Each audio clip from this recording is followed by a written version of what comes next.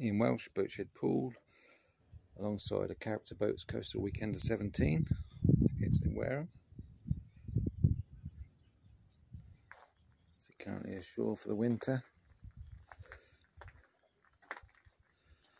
But lovely day sailor. As you'll see on the photographs later on, there are pictures showing it with full camper covers her ideal for a weekend. Overnight stays.